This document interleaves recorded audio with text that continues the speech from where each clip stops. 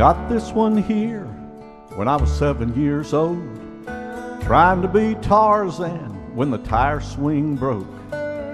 This one's from high school when I drove off bad, tore down that dirt road, took the corner too fast. Got this one one summer on the bank of Salt Creek. My brother thought he caught a big one, but it was just me. There's one on my heart when I saw my daddy cry when they folded up the flag when his daddy died.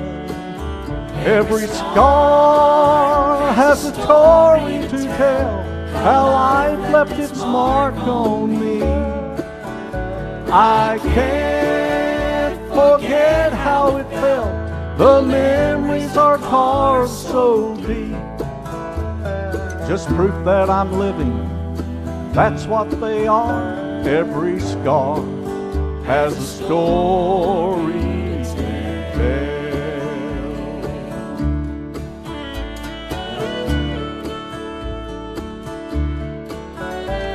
Well, everybody's got 'em, reminders of the past. Some make us cry, some make us laugh. Some we wear with honor, some we try to hide. The ones that changed my life the most aren't even mine. They covered the back of an innocent man. He's got him from nails in his feet and his hands. There's one on his side where a sword cut him deep. They're all over him instead of me. Every scar has a story to tell how love left its mark on me. I can't forget how it felt. The memories are carved so deep. Just proof I'm forgiven. That's what they are. His scars have that story to tell.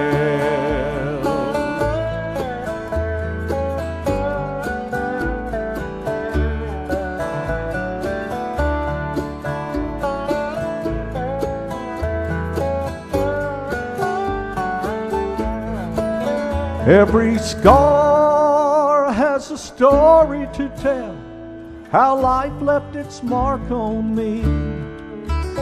I can't forget how it felt, the memories are carved so deep.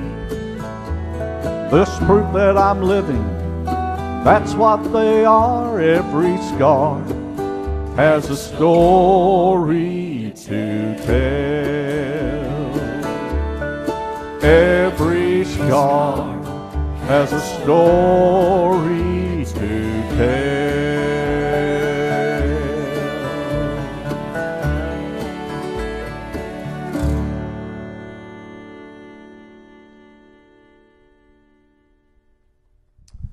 Wow, what a great song. Every scar has a story to tell. And you know, as we could show our scars to friends and others, and we'd have a story to tell them how we got that scar.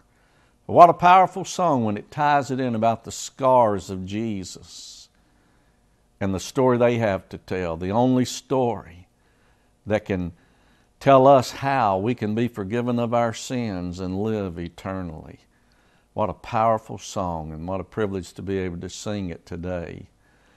You know, we have these scars that can tell the story of our life. And Paul, the Apostle Paul, certainly had scars in his body. He said, I bear on my body the marks of the cross of the suffering and the punishment he went through for the cause of Christ. But you know, one thing that stands out to me as far as the Apostle Paul is that he said several times in the Bible, Be like me. Now, I can't go to all those passages tonight, but I want to go to one in the 11th chapter, 1 Corinthians, where Paul makes that statement. He's telling this to the Corinthians who had had a great church he helped to start it, but then they got out and began living very worldly because they thought they're forgiven of their sins. So if they're forgiven of their sins, they can live how they want, even if it displeases God, and ask forgiveness. And Paul was kind of calling them to task for that. You can't do it that way. You've got to live for the Lord. And Paul said, You need to live your life in a way that others could follow. And he said in chapter 11, verse 1 of 1 Corinthians, Be ye followers of me, even as I also am of Christ. I want us to think about that tonight. I told the members of my church, because I've said this to them before more than once, and I told them I was going to point into the television camera and say to all the ones watching tonight, particularly the church members, what if every member of your church was just like you? what kind of church would you have? Amen or oh me? Would there be things lacking in your church?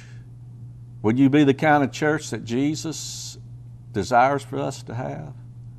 Well, this message tonight is not one that I'll go verse by verse. I read through the Bible every year and have done so since I was 26 years old. And I, I tell you, each year I, I find that as I read through the Bible, it's more He must increase in my life and I must decrease. And there's so little now that I desire in what we would call worldly fame and recognition and all that. But I want to live my life in a way that I could tell people, be like me because I seek to be like Jesus. And as I read through the Word every year, they're just things that you call to mind that you remember over and over again. And so this passage tonight, or this verse and the message, is based more on thinking back through the whole life of the Apostle Paul. I could go back, everything I say tonight, I could give you a specific scripture and read it if we had time.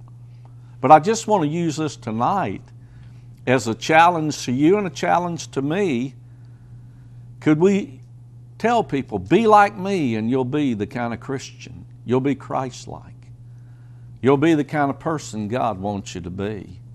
Well, Paul was able to do that, and he said it several times in the first chapter, 1st and 2nd Corinthians. He talked about his example and how they ought to live his and how some were living the right way. And that's how we ought to be. And so let's just think about this tonight. Be like me. Paul could tell the world, be like me in witnessing. Now, Paul eventually had a full time itinerant ministry. He was a tent maker at one time in his life, but then he was able to give his full time efforts to what we would call an evangelistic ministry and went from town to town and country to country on his mission trips. And he witnessed to people about how to be saved. But you know what the most important thing was with Paul is something he had that all of us have. Every Christian has a salvation story. We need to learn passages of Scripture that can help to reinforce what we say. But Paul had a pretty drastic experience on the road to Tarsus. Now, not all of us will have that drastic an experience in getting saved, but all of us need to be saved. And what is your salvation story? Why I got saved. What my life was like before I got saved and what it's been like since. And it ought to be such that since you've been growing in the grace and knowledge of Jesus Christ, and you could tell others, be like me, but be like me in witnessing. You know, sometimes I think that we set our efforts way too high. The one thing that I seek to encourage the members of my church and even through this television program, you know, before you set high standards of I'm going to reach X amount per year, and you might not be able to, reach one person. Each one can reach one. Ask God to put upon your heart someone whom you can reach for the gospel. And God will desire to answer that prayer, and He'll do it. So each one reach one. And tell your salvation story in some way and allow the world, word and the Lord to work through you to be able to help lead a sinner to Christ. I mean, folks, there are scores of ways today to share your testimony. With social media what it is, you just think you make a post on Facebook about something God's done for you or share a scripture about how to be saved. And sometimes your friends will share that. And what you share can be known to hundreds of people, even thousands of people. Just share your testimony in some way and be like Paul in witnessing. Secondly, Paul said, Be like me in reading the Bible. Now, many of Paul's writings became the Bible as we know it, but he did have some scriptures. He knew the Old Testament scriptures. But Paul even wrote in 2 Timothy chapter 3 From a child you have known the scriptures that are able to make you wise unto salvation. And I know that Paul studied the Bible. It's imperative for Christians to get into the Word of God, and as you get into the Word of God, to get the Word of God into you and to grow in the faith. What other book claims to be a light to your path and claims that it, you hide the Word of God in your heart, you won't sin and do others wrong, you'll live right? That forever it is the Word of God. The Bible claims that. That's why it ought to be a part of our daily lives as Christians. I heard someone uh, promoting a certain kind of Bible, and they said in there that it's, it's geared that if you read it for five minutes every day, you can get through the Word of God in one year. Now, let me tell you, folks, you can find five minutes a day to read the Word of God. We can find time to do anything we want to do, don't you? And so, you know, five minutes, I love to be able to spend a half hour to an hour some days in prayer as in prayer and Bible study as I have the time. But there is little in the Bible. Some people say, well, I don't understand all of thees and thous and so forth. Folks, that's just a small, small part of the Bible. There's enough in the Bible that you can understand if you read long enough. You know, Mark Twain said, It's not the parts of the Bible I don't understand that bother me, it's the parts I do. and I tell you, mean, in our life, sometimes when we read and see how we fall short of God's plan, it ought to inspire us. So Paul said, Be like me in reading the Bible, be like me in witnessing, be like me in attending church. This is not a day for slacking off in church attendance. And that's the very thing that's happening most places. Most growing churches today are not reaching lost and unchurched. They're getting some other church's members. And often those members go to that other church because where they are is too small and it doesn't have children's ministries or it doesn't have that. And they go to a church that has the programs, and really I call them shirt tail Christians. They ride the shirt tails of someone else. They're not doing something where they are to, to show the world how a church member ought to be and say, Be like me. So, Paul, whenever he got to a community, he found out where the synagogue was, but he also would find out where is the place where people pray, and that was the first place that Paul would go. And so he would always find a place where Christians would gather. You know, lost people are usually surprised when Christians don't attend church. They know the Sunday is the Lord's day and expect us to. And that's a simple way you can witness to somebody by attending church. And in your church, focus on what is good about your church and uh, what is good about other churches. And be cautious. Don't ever say anything negative about another church, and especially don't say anything negative about your church. There are ways to work through things in a church situation where you don't make it known by others. I, I can't tell you how many times I've been in a restaurant on a Sunday after church services or Sunday night, and I hear people near me talking about their church and something they don't like. I tell you, I tell our folks, focus on what's good and build upon that. So Paul said, Be like me in attending church and being faithful.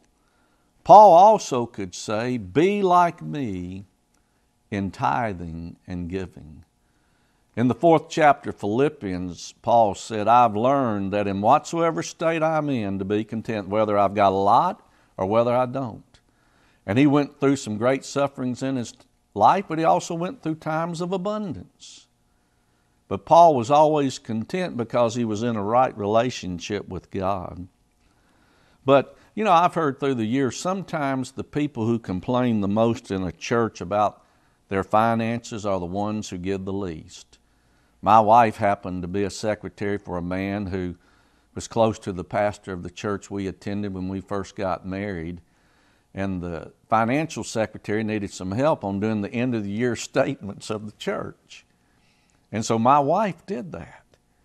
Now, she didn't tell me who gave what or whatever, but she told me one day, said, You'd be surprised at who you think gives a lot to this church doesn't. And then she said, Some of the people you'd have no idea had any money at all are some of the highest givers. See, that's the way it is in a lot of churches. Supporting the Lord's work financially, though, is not a choice, it's a command. We are to be tithers. And you know, if every church member tithe, churches would be looking for places to give some of their money to. 20% of the people in a church give 80% of the needed income. I've been going through, I'm trying to clear out clutter, even files and things like that, and I've gone through uh, church newsletters where I used to write an article every week, you know, 50 a year or so. And I was going through a church where I was for eight years and going through those newsletters. And I was there back in 94 to 2002. And I forgot some of the pe- people who got saved, some married couples who had been church members a long time getting saved. And you know, it was a blessing to do that. But one of the things I came across is that one year, and we had more than one year like this, but in our church, we not only had the tithes and offerings come in to meet our budget, but we had a surplus. And I'd forgotten all about this. But I went to our deacons and finance committee and I said, you know, we ought to give some money away. God has blessed us. And that year we gave $10,000 to Mid America Seminary, where I graduated from. And they are not supported financially by the cooperative program of the Southern Baptist Convention, so they need donations. They're dependent on donations. So we gave them $10,000. And then we gave $10,000 to the Baptist Children's Home because a couple in our church uh, were the house parents of one of the cottages, and they bring their kids to our church. This was above what we had already budgeted to give to those ministries and others. And man, that, that was a blessing.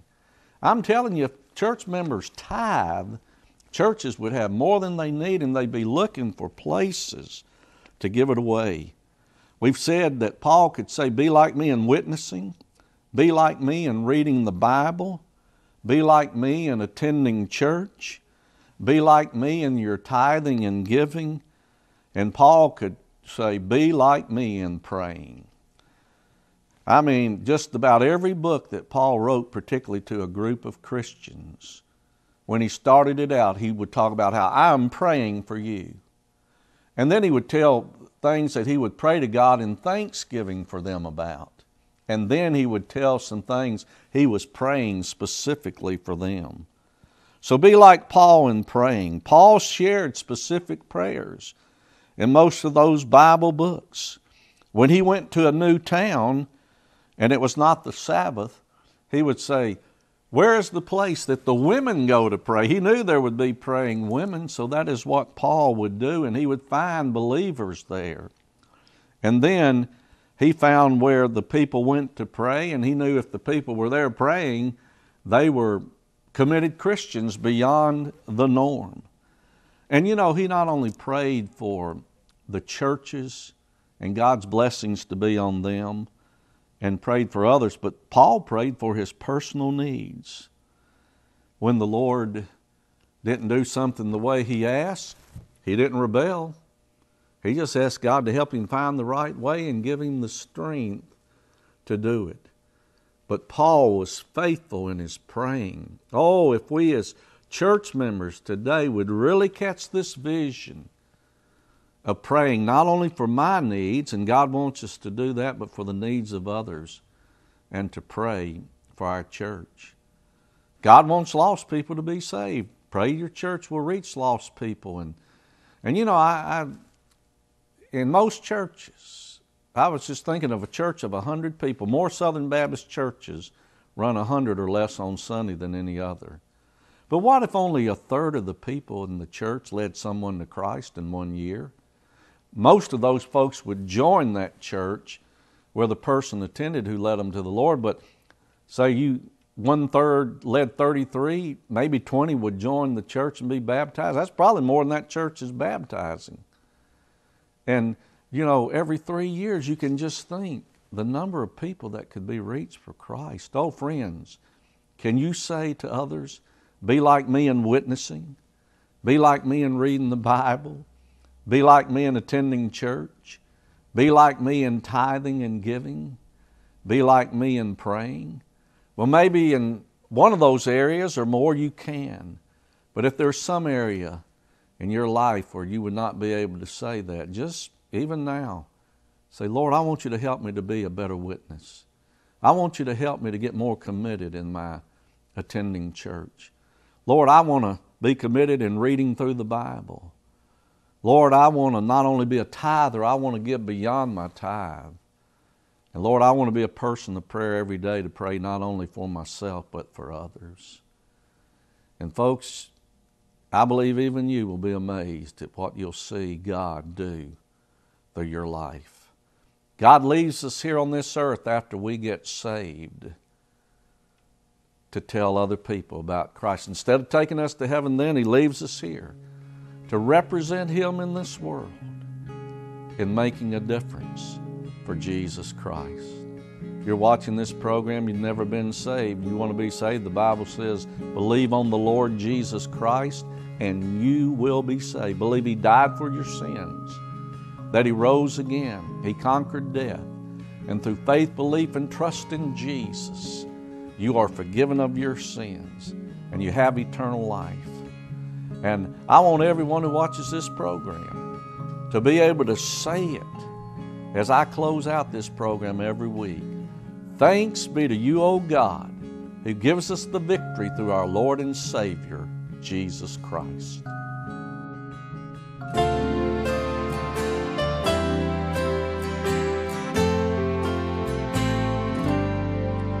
One Friday morning on a hill called Calvary, what looked like defeat was how the Lord won victory. For there on a cross where he was crucified, his blood paid sin's debt on that day when Jesus died. It took the blood of the Lord to save my soul. It took his blood to cleanse and make me whole. It took his blood for my sins to be washed clean. It took his blood for me to be redeemed. The Bible says that the blood of Jesus Christ cleanses us from all sin. For all have sinned and come short of God's plan for mankind. But redeemed by Christ's precious blood, my sins are pardoned for all time. Christ rose from the grave to conquer death triumphantly. His blood is life giving blood through which I'll live eternally.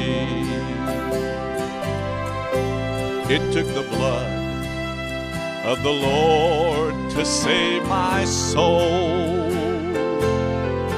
It took the blood to cleanse and make me whole. It took His blood for my sins to be washed clean. It took His blood for me to be redeemed. It took the blood of the Lord to save my soul. It took His blood to cleanse and make me whole.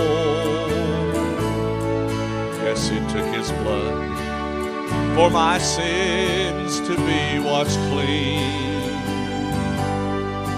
It took His blood for me to be redeemed. Yes, it took His blood for my sins to be washed clean. It took His blood for me to be redeemed.